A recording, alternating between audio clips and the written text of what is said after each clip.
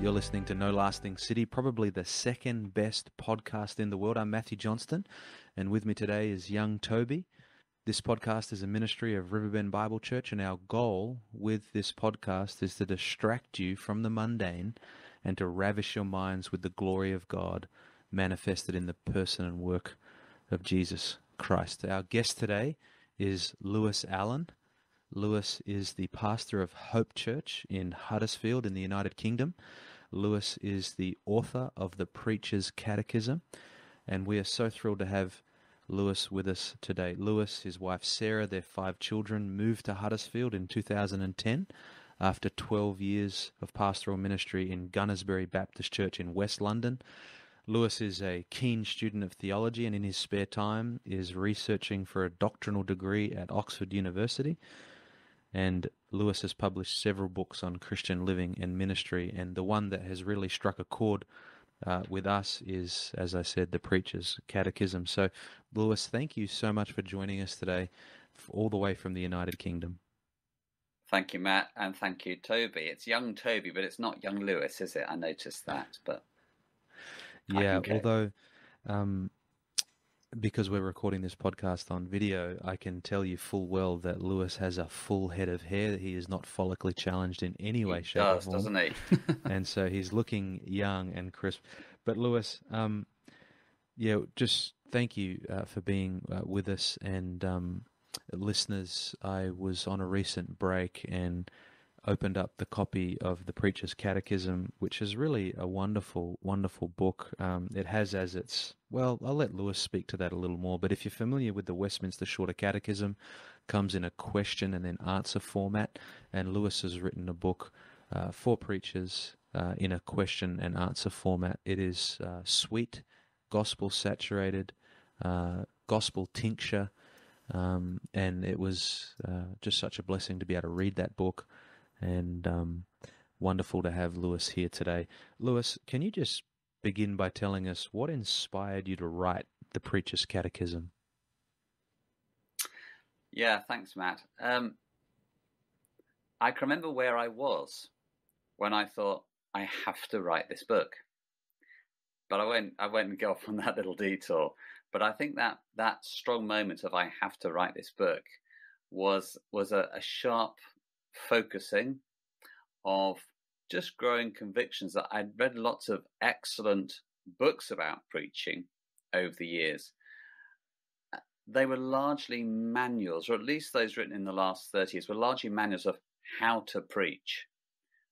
They were terrifically useful to me. But the books that really quickened me and fired me, and I think helped me build a theology of preaching, um, were the 19th century manuals about homiletics and pastoral theology, which explored, already gave me a sense of the majesty of preaching, the difficulty of preaching, the mystery of preaching. And, and, and you don't get that in how to preach manuals.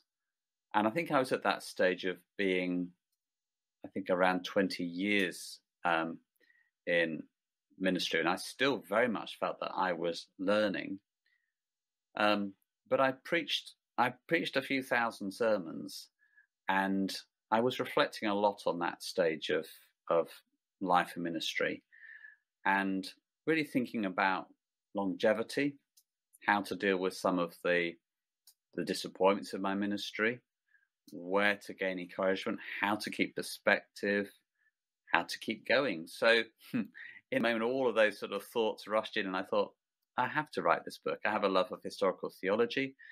Um, I'm not a Presbyterian. I have a different covenantal and sacramental theology from some Presbyterian distinctives and ecclesiological too.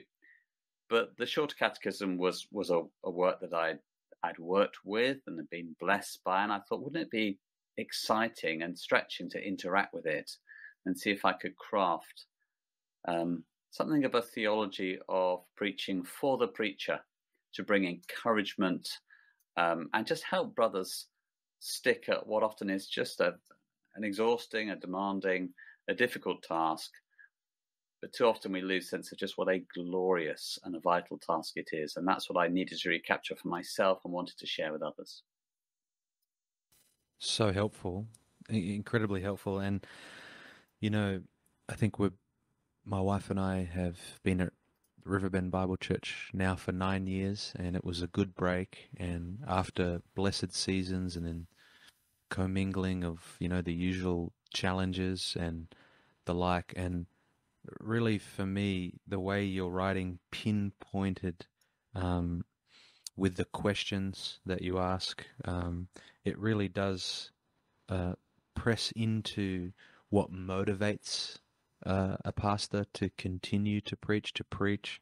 Um, any any uh, quote unquote respectable sins um, that may be lying under the surface, um, failures, weaknesses, um, and then giving us, yeah, giving us not only um, sound doctrine but also gospel motivation, motivation from the person uh, and work of mm. Christ to to keep going, not only keep going as a preacher, but to keep going uh, in growing as a preacher.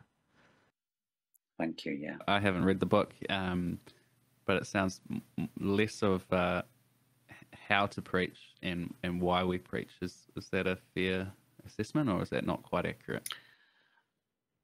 I yeah, I think so, Toby. I think that's it. It's it's yes, it's not a how to preach. It is a why to preach. It is a so let's keep on preaching. Let's not lose heart. Mm. Let's not give in to cynicism or weariness. Let's let's know where there are deep wells of encouragement and reassurance. Let's keep our vision on Christ, who is the Word, and give ourselves trustingly to to this. I think there is so much mystery in preaching. I'm often preaching thinking, but I don't know what's going on. I don't know if anything is going on. This is the strangest experience that I engage in once a week, regularly twice a week. Um, it's so strange to give yourself in hard preparation, wrestling with a text, and fighting for time. And there are so many pastoral and leadership and administrative and evangelistic responsibilities. Um, and to get through a week with that deadline every single week and to give yourself to this mysterious work and then to empty yourself there and go away thinking, what just happened? Um, and will anything happen from this? And, you know, Jesus is always telling us God's kingdom work is invariably slow and often invisible. Um, and the joy of just walking with a congregation, seeking to shepherd them, giving yourself to them along the way with the inevitable disappointments that you, you see growth, you see fruit, you see progress, and you think, gosh, the word did it all. The Lord used mm. me, but the word did it all. So I, I, mm. I want to remind people of the strangeness and the mystery of preaching so that when disappointments come, we're not just too devastated or we think, well, that shouldn't happen. Because it will happen. The Bible is just so frank with us. There are lots of inglorious failures in preaching ministry. We just have to keep on going, but not just out of sheer grittiness, but out of a Christ centered perspective and, uh, and, and a deep integrity and a desire hmm. to honor the Lord feed the sheep, preach to the lost, week in, week out, in happy times and just very, very sad and difficult times as well. Mm. When I think of the book, it it's a deep breath, is what it is. It's a deep breath, um, and uh, you know, to to read so many familiar names in there, as you know, not knowing the author, although getting to know him now, not knowing the author too well and just reading uh, all the mentions of the the names of the 17th century John Owen and the like. There's a familiarity there that feeds the soul as you're drawing down from uh, trusted uh, theological resources and a richness, and that hmm. um, coupled with the warm pastoral gospel tincture um, makes it a very special special book. Um, you are a preacher. You have been preaching for several decades now, and you've written a wonderful book. Um, over several decades, and it doesn't take long to be in a season where you're facing adversity, whether it's adversity in your own life, in the life of your family, in the life of your church, in, in just adversity in many different flavors and shapes and colors. Lewis, what have you found helpful during seasons of preaching through adversity, and what advice would you give for preachers going through adversity of some kind? Thanks, Matt. Um, you will suffer, and life will go horribly wrong, and ministry will go horribly wrong. But I think we think, well, it might do to the guy down the road, but it probably won't to me. Um, to take a verse slightly out of context, I know 1 Peter 4.12, Peter's talking to Christians who are facing state-sponsored persecution when he says, don't be surprised at the fiery trial you're experiencing. Um, that's not us yet in the UK. Um, but preachers are often astonished by suffering and and very resentful. We think, Lord, I'm I'm working for you as if that's some sort of fire blanket against fiery trials. So suffering will come, and I think um, if we actually think no, it won't, or it won't be bad, then our ministry will just won't be very good when it does come. Um, I think I'd say when adversity comes, obviously all the stuff of believe the gospel, pray, plead, weep if that's appropriate, gather people around you, get the pastoral counsel. I think often we preachers are a, we're a fairly kind of stubborn, stubborn, determined lot who actually spend quite a bit of time on our own. Slave to email, servants of prep, all those things. And I think the impulse of suffering for us men and us leaders um, take us to an, an, even more solitary place, which I think is spiritually and emotionally, psychologically unhealthy. We we need people to, to walk with us. We need to invite them in. So I think if you're going through a period of adversity, a season of adversity as a preacher, you should, as much as you can, bring people around you. But probably even then, you'll feel the isolation and the no one gets this, which every sufferer does. Um, I think if I could add a couple more things, Matt, I would say um, preach out of your experience. No, don't deny it. Don't sort of put it in a separate box in your mind or heart or diary. But don't preach about your experience.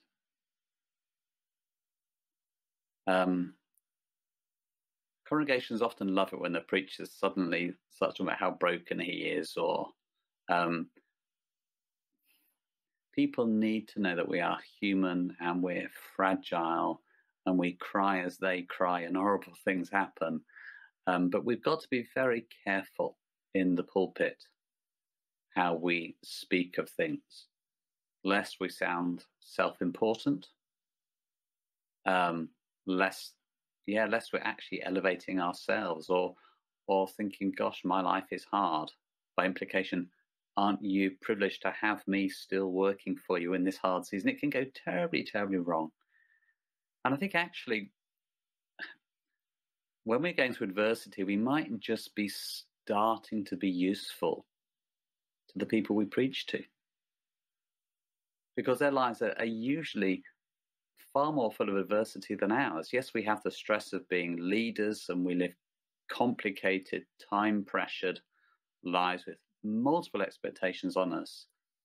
But usually, people who are in preaching ministry have some degree of giftedness, organizing themselves, getting their lives together.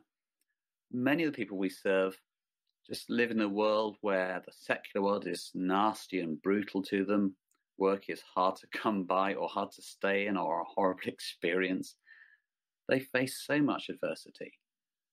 And you know, the Lord does want to have broken hearted, Christ like, grace dependent preachers.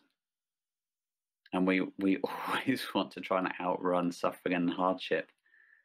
But God has his way of, in love, hunting us down, bringing us into adversity, maybe keeping us there for months or years or decades. And then we start to get all the Bible says about heartbreak and tears and longing for heaven and the wickedness of the world and the glory of God's love and the availability of grace. And as we yield and learn and humble ourselves, we grow. We grow, and and that's just so gloriously obvious in the pulpit. Because people, by and large, don't want to listen to a super well educated, highly intelligent, driven pastor who can preach with pinpoint biblical, theological, and exegetical accuracy. They want to see a man who is feeding on Christ and passing on what he's discovering and being changed by grace. So I don't know if there's anybody that that's useful to. They're just a collection of thoughts, slightly, slightly scattergun. Um, just if I can just double back on the be careful about preaching about your experience. You know, we're not to wear a mask. We're not to give the impression that we've got it all together. Sometimes it's right, they see tears, they know about our heartache. We just need to be very careful and selective in what we're saying and how we're sharing. Matt, is any of that helpful? Do you want to push me on any particular bits? So incredibly helpful, brother. So incredibly helpful, and I think all the pastors and preachers out there would be um, certainly uh, agreeing and then um, uh, being blessed by what you've just stated. I remember John Piper did a biography on Charles Spurgeon, uh, and it's called Preaching Through Adversity. And I can remember first listening to that years and years ago. Um, listening to it slowly driving in a car going around a paddock, oddly enough, um, just listening to Piper unfold the experience of Charles Spurgeon and the different challenges of um, having to preach through adversity. And uh, yeah, it, it is a real thing. And I can't help but wonder if, at least in my life, a lot of it comes from the Lord knows just how self reliant I can be. And so many yes. times throughout my preaching ministry, I've noticed that God will bring things into my life, tangible, that make me very tired and weak. And um, because I, He knows how prideful and self reliant I can be. And so the adversity is a grace. Um, and I can think in the in the darkest of times, there's that sweetest of communion and consolation with the Lord. Um, and the sad part is, is we just rinse and repeat and do it all again, and have to keep learning the lessons over and over. Um, but yeah, I'm really grateful for what you've unfolded there. Um, yeah, it's it's an interesting dynamic where the Lord uh, has to ever break us and humble us to to keep us effective and useful. I I think um, the preaching that has most impacted me uh, has been when the man is um, is is authentic. He's not becoming an echo of that person's feedback and that person's feedback and that person's feedback and simply just mm um, bending and bowing to all the subjective feedback that comes and then totally losing his authenticity, which is one of the things that was brought out in that preaching through adversity adversity uh, message was not to do that. And when there's an authentic man uh, preaching with a broken heart, I think that's some of the most powerful uh, preaching um, that I've I've experienced. Yes, yes, and, yes, I'd agree, man. I was um, so you, you're both uh, preachers and have preached a lot more than me. I think I could count on one hand how many times I've preached, maybe two. Um, But can you? and you've walk been me doing through- a good job too, Toby. Oh, thank you, thank you. Um, I don't have as many uh, opportunities to fail yet.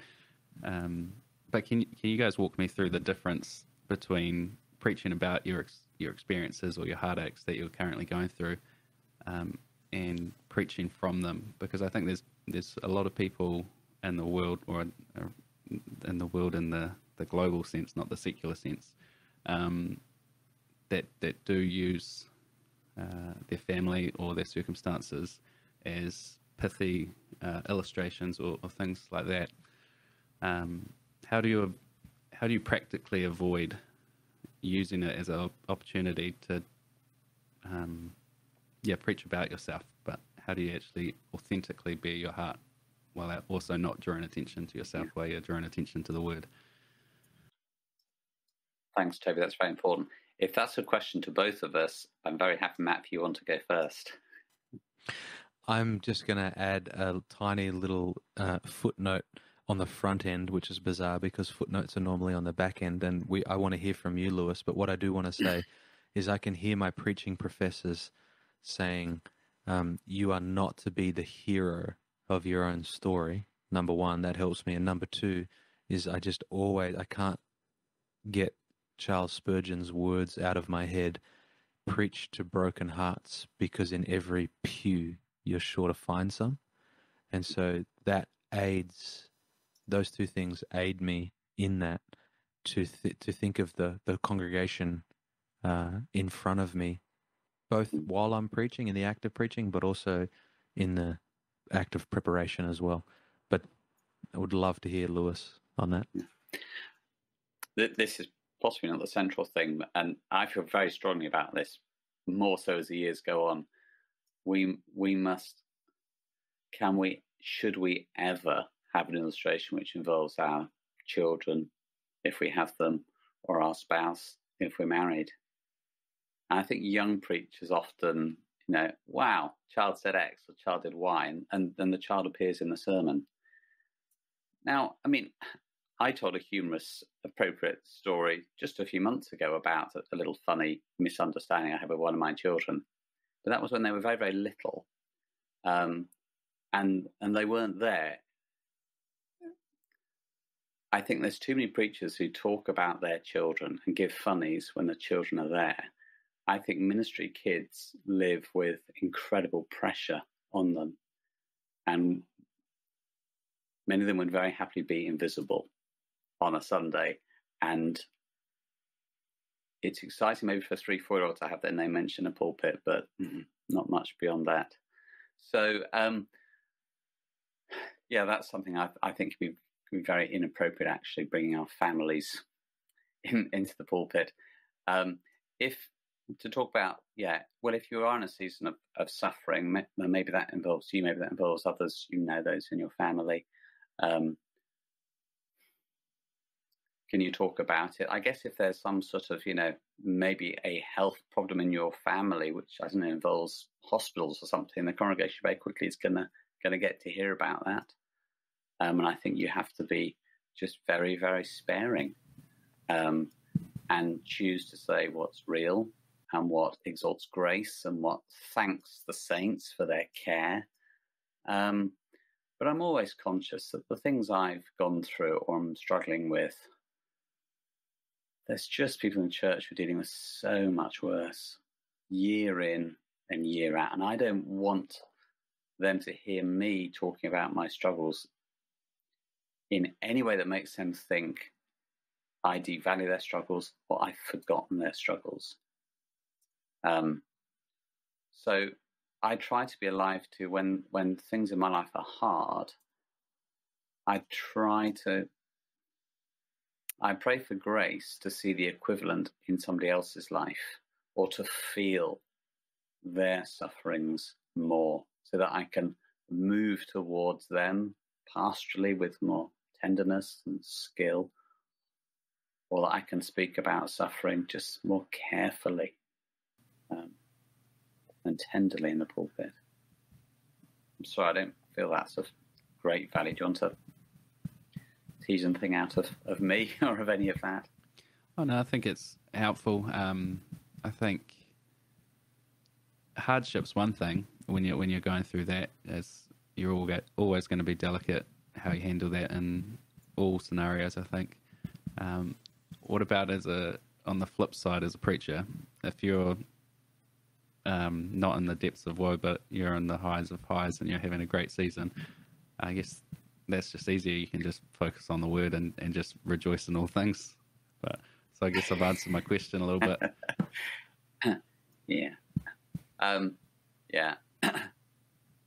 I I don't know if some folks in in in the church where pastor think this is strange, but I,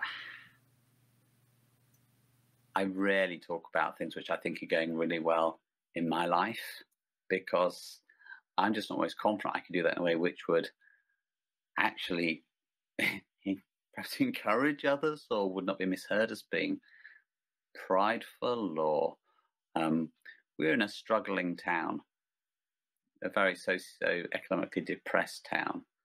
Um, I'm a person who's enjoyed great educational privilege, is blessed with health, blessed with marriage, blessed with children, blessed with home ownership. I own a car. You know, I'm off the charts on every integer of you know well-being. I kind of want to be very careful um, that people don't think that here comes this guy whose life is just very, very protected. Now we've had our real heartaches, um, and many in the church know about them.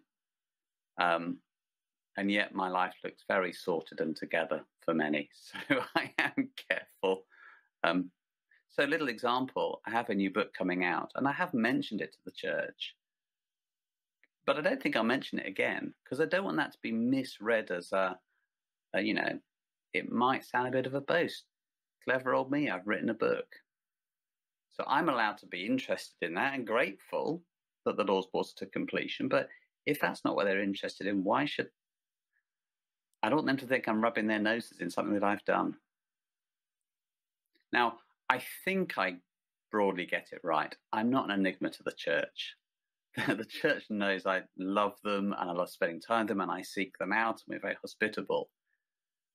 Um, I just want to keep listening to them, ask them what's happening in their lives. And if they ask back, then they'll get as much as is appropriate. Yeah, that's really really good, really helpful. Um, I think one thing that you know, and I would echo um, all that you've said there, Lewis. One thing that really um, helps me, I hope, is that we are simply there to deliver as a waiter, if you will, to use the illustration that's used by um, our seminary professors. Um, we're simply the waiter who delivers the meal that God has already prepared. We don't toy with it, we don't tinker with it, we don't change it. We just have to be faithful to deliver the meal. And when that's the conviction and the burning desire in the heart, it kind of gets all that other stuff and just cuts it off. Um, yeah, yeah, it is. And uh, and to come with that analogy, Matt, we're not looking for tips. Yeah. Um, but we know that the way we serve people is everything to how they receive the food of God's word. I love that uh, addition there, and I'm sure I'll pass that on to the preaching professors because I'm sure that'll bless so many others. I like that. We don't. We're not. give you a tip. We're not looking for tips. Um, yeah, uh, I think of the old preacher Leonard Ravenhill. What did he say? Um, too many uh, preachers who should be fishing for men are fishing for compliments from men, something like that. Mm. Um, we're talking a lot about preaching here on this episode of No Lasting City. We're joined by Lewis Allen. Um, Lewis, who are some preachers that have heavily influenced you, and importantly, why? Oh, that's a great question. Um, I was raised in a very secular home. Um, I got converted in quite unusual circumstances as a 19 year old. Um, I think it's quite inevitable if you have that kind of conversion experience, you go into a church as a gifted preacher. he never leaves your memory. You are so indebted to him. But I was just genuinely very, very blessed in that the guy who I still consider the most, one of the most alive men in Christ that I've I've met, was my first pastor, um, and his just his sense of reverence and joy utter conviction about the power of the gospel and the unashamedly theological shape he gave to his preaching the Christian life were were just so impacting. Um, so now he's he's not in pastoral ministry; he's very much in the kingdom of God, doing the Lord's work. Um, but I won't mention his name because he's he's not he's not preaching now; he wouldn't be known. Um, as a university student, I was um, very impacted by at the time, he was one of the UK's best known preachers. Four years after he baptized me in those hundreds of sermons I gained so much from, he his life collapsed um, into uh, an adulterous affair uh, and caused just untold anguish um, and damage to his family, the church, the kingdom. It was very, very salutary. Um, reminded me that the kingdom is full of mystery and full of agony and and and, and sin abounds and the devil's at work. Um, I can look back with thankfulness to God for that ministry I received, but utter confusion as to what's going on in God's sovereign purposes, which I do, don't need to understand anyway. Um, I I don't listen to a great deal of preaching, and I think I should listen to more. Um, if I've got, say, a couple of go to guys with most of Christendom, I listen to Tim Keller, um, who I find, you know, uniformly helpful, don't agree with everything, wouldn't do it with my level of mediocrity, couldn't do it as he does, but he frequently just opens up the scriptures in exhilarating ways and makes me think about how to be a better Christian and preacher. Um, and Sinclair Ferguson, I will always go to um, and look forward to hearing. Um, I'll probably think of a bunch of others once the podcast is finished. Um, but I often go jogging with my dog and I listen to a sermon or two, and that's that's how I enjoy my preaching. Yeah. What is it about Sinclair that you um, enjoy and are influenced by? Yeah, good question, Matt. What do I enjoy about him? Um, that he's a very self effacing man. He wants to exalt the Savior and nobody else. Um, I guess why I so value him are the points of contact with that very first preacher that I mentioned. Um, the solutions this side of heaven to life's problems are theological, ministered in the power of the Spirit as our hearts and minds and wills are retrained to walk the narrow way with joy and hope. And so his just skill in bringing theological acumen to life's problems, I find just really, really helpful. Um, his preaching is always fresh. He's not, you know, enslaved to a particular methodology. It's not predictable. Um, yeah, so that does me good. No, that's really great. He, if you were to, I think we should go around the podcast and um, ask uh, Toby, and then I can answer that question myself too, because it is the art of preaching. Um, it, it, it is an art, and it is a calling. It is an act of worship, and um, there's something very special about uh, sitting under preaching as an act of worship. And because we're so eager to be um, pleasing to the Lord in in the act of worship of preaching, um, we do listen to other preachers. Um, it's been said uh, by others that uh, preaching is more caught than taught, and um, properly understood, that that makes a lot of sense. It doesn't mean that there isn't a key aspect uh, to preaching that is homiletical training uh, and the like. But Toby, what are some preachers that have heavily influenced you and why? Well, I'd get in trouble if I didn't say uh, Matthew Johnston is a big influence, as I hear him 90% of the Sunday. Matthew Johnston, I've I've heard. this he is, is a big this is deal. this, this you have No, you haven't have heard it um, you have started uh, on the wrong foot, Toby. There. Well, I can uh, see. I, I can just. I started somewhere where I can. I can continue to climb. I didn't want to start at the pinnacle. you pinnacle. can build can from build. that. Thank you, Toby. Um, recently, I've been enjoying Alistair Begg.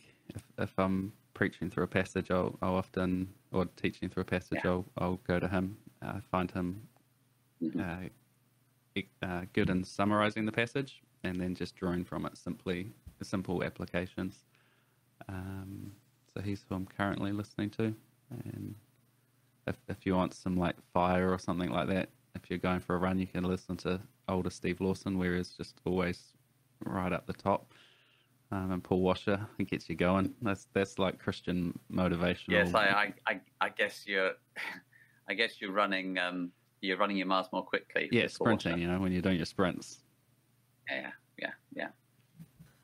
You're under eight minutes a mile. Oh, yeah, So well, maybe we- seven we- and a half. Yeah. Yeah. Uh, you, Matt? Um, yeah, you know, I think one of the greatest sermons that's ever been preached is a sermon called 10 Shekels in a Shirt. Um, it's the most downloaded sermon on the internet. Um, and it's by an old preacher called Paris Reidhead. And uh, he's no longer alive.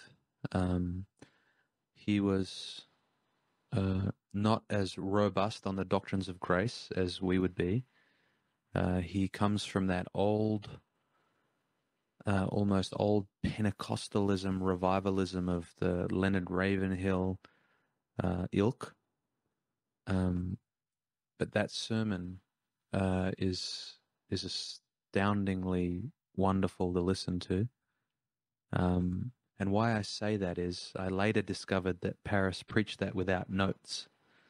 Uh, he lost his notes Mm. on the way to the conference that he preached that on. And so I want to encourage anyone out there to download 10 Shekels and a Shirt by Paris Reidhead. Um, that, why I say that is because I soon went from uh, listening to that sermon, and these were just sermons that people gave me uh, when I first was converted um, later on in life.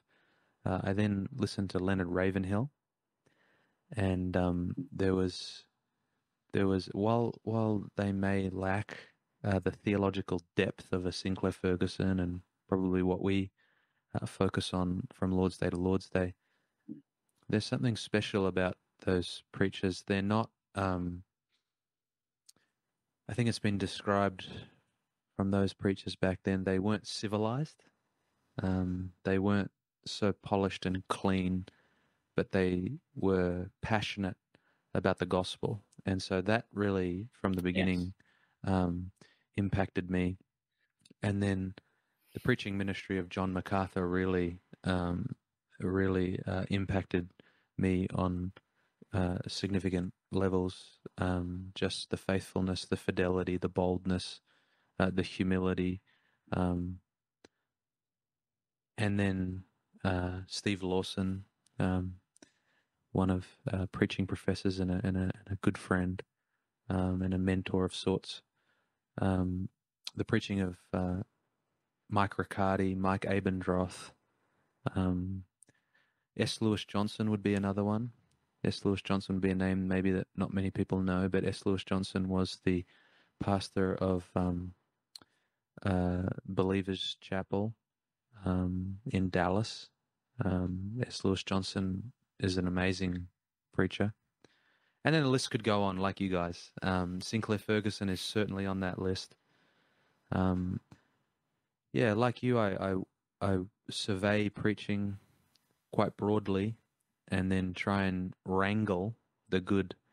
Um, and and I'm sure I bring some bad in there as well. But I think there's such a broad variety of preaching out there. Um, yeah, we would do well to to listen and read. I would say I read more sermons than I listen to.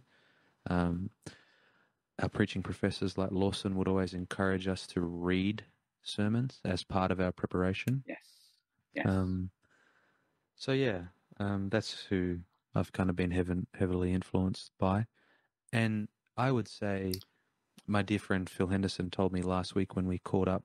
He had the opportunity to talk to a very experienced preacher who was one of our preaching professors, and he asked him, "How long did it take you?" Phil asked the preaching professor, "How long did it take you to settle in um, as a preacher?" And he said, "About ten years." And when you think about it, that that Phil and I said, well, that's very true. Um, I'm coming up nine years, um, and I feel like I'm slowly just actually shaking off the negative um, uh, influences um, in the sense of you can see so many preachers when they first start preaching, even by the way they preach, you can see who's heavily influenced them. And I think we can be so heavily influenced at the in those very early days to to a fault because we're we're not we're not authentic yet. I think we grow into our authenticity of who yes. we become. Yes. And um, I th- I think that's that's very true, and I'm I'm experiencing that. Um, man, there's so much I could talk about preaching, and it's lovely to have you on, Lewis. I'd love to talk about how you would describe bad slash poor preaching. Um, uh, if you could uh, unfold for us what, what you think of that, that would be great. Yeah, I think that would be very autobiographical, Matt. Um, just before I go to that question, if I could just take just a few seconds, you reminded me we we can we can include dead preachers, can't we? Uh, the preachers we would listen to, reading of sermons. Um, my favourite deceased preacher, I think, is John Flavel, the English Puritan. Um, whenever I'm preaching on the person and the work of Christ, I will go to his volume of sermons called um, uh, The Fount of Life, uh, or The Fountain of Life. Um, in the six volumes of the Banner of Truth edition, which every every Christian, every preacher, every pastor must buy. Um, I think it's in the I think it's in the first volume. They're just a they are sermons on person, the work of Christ, and they're just so full of insight and devotional tone, doxological tone, outstanding. And there's a sermon, a standalone sermon, which um, Flavel actually wrote out in full, and he died before he got to preach it. But it was to a pastor's um, fraternal at a very, very important time in English history where they had got toleration as gospel people to preach called The Character of a Truly Evangelical Minister as Drawn by Christ. And that is just an incredible sermon. Emotional intelligence for the preacher, 17th century style, and transparent holiness for the preacher. The character of a truly evangelical minister as portrayed by Christ. It's on the commendation, well done, good and faithful servant. So that's John Flavel. Before you keep going, how would I describe? Sorry to interrupt, Toby. Could we hunt down that um, sermon, a link to it, and include it in the show notes? I've already got it. I'm I'm skimming it at the moment. Young Toby is always ahead of the game. Is he? Is he? Could I? Can I do this? I'm just reaching up. Um, Flavel became a bit of a project for me a few years ago. And so I took, I think, 13 of his sermons and I edited them. I worked with his perhaps older language and some of his illustrations, which didn't have any traction anymore. And I put in some head, uh, some subheadings so we could find our way through the sermons.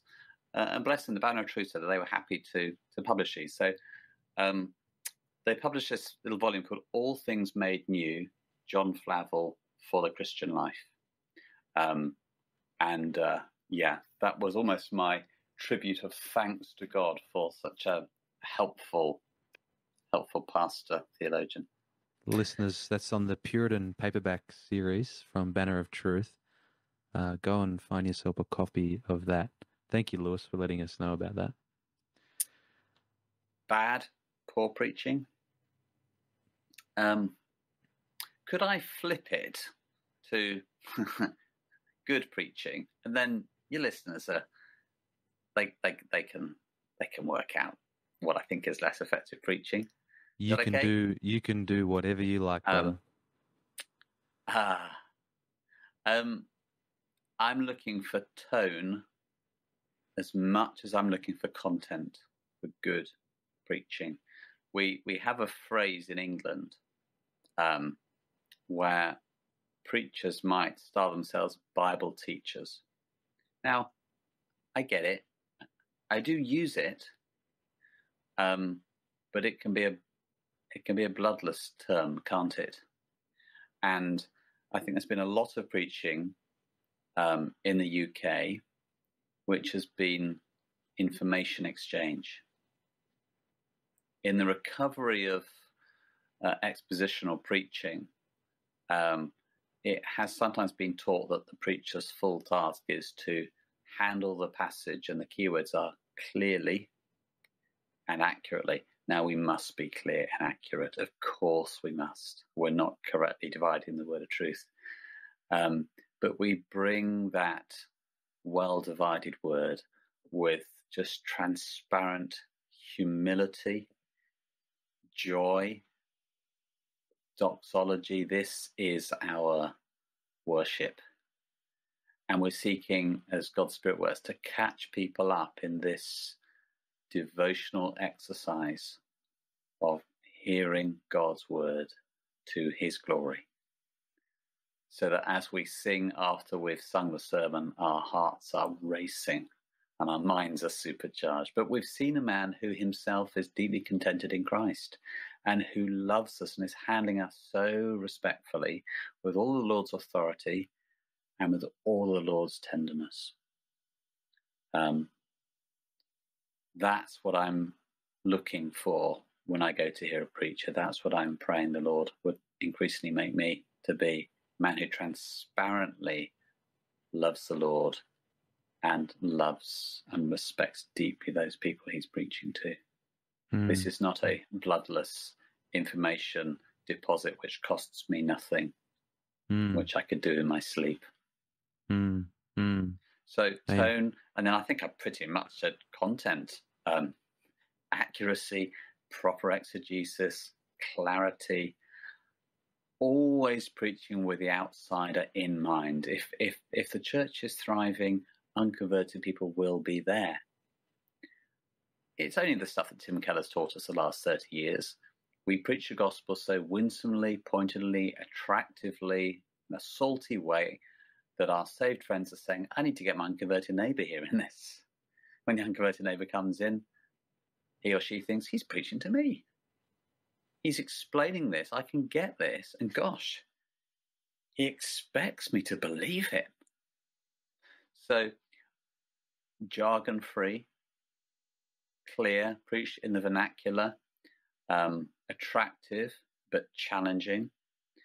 Um, the message of the cross must always be explained, at least in two, three, four, five crisp sentences, and the challenge the invitation given in every sermon. Not in a way that's wooden or bolted on, but which comes from appropriate points in, in a passage. Um, but we're, we're preaching to us chickens. We're preaching to the Lord's people. This is a feeding of the flock. So if the unconverted there, they're saying, Ah, I see. They actually believe this stuff. And that guy's teaching them how to live it out. It sounds hard. But he keeps talking about the Holy Spirit who's going to help them. And he really believes that heaven is real. So I could go on. I'll chop myself off there. Don't if there's anything that you want to come back on, Matt, or No, no, that's that's super helpful. Um, do you see sometimes a lack of fervor in the pulpit from some of the reform community? I know I'm supposed to say yes, Matt, aren't I? You just answer. cheeky. You answer Um, as yeah. freely as you like. Yeah, fer- fer- yeah. Fervor is such a difficult thing, isn't it? Because that looks very Yeah. different um, Mhm. culturally. Um, we have to work out according to our culture um, church culture, ethnicity, cultural expectations, what it is going to look like for us with our individual personalities and enculturating us to be, well, John Wesley said, set a man aflame with love for Christ, and people come for miles to watch him burn. Mm. So our burning will look different. Yes. Um, but we've got to burn. We've got to Mm. burn. Mm. We can't Mm. say a casual sentence in our sermons, but that doesn't mean we need noise and and an intensity which perhaps isn't us or is just quite exhausting to listen to. One of the Mm. most logical, understated, modest guys I know, when he's in the pulpit, he he's full of noise. He's so loud and animated, and I find it just such a puzzle Mm. and I find it really exhausting to listen to. Yes. Yes. So yes, fervor, but fervor in a way that's effective and is authentically us. Yeah, hundred percent.